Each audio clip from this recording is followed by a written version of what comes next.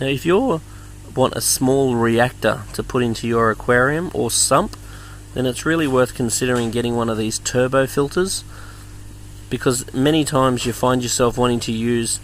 high quality carbons or um, say phosphate removing material and you need somewhere that you can place this material that you can ensure that the water goes evenly through it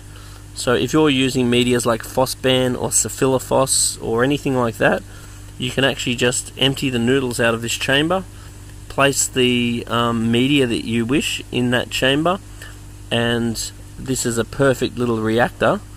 to ensure that you're getting the best value out of your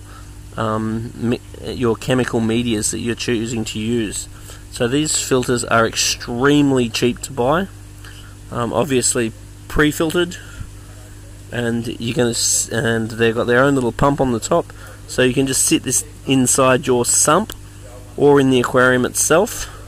and polish out your phosphate or whatever you're deciding to use. It's perfect for Purigen,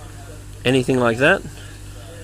and very easy to replace. You just pull it out, clip the bottom off, change the media inside it,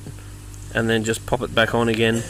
and you're going to have nicely pre-filtered water, which will be evenly distributed through your, mecha- your um, chemical media.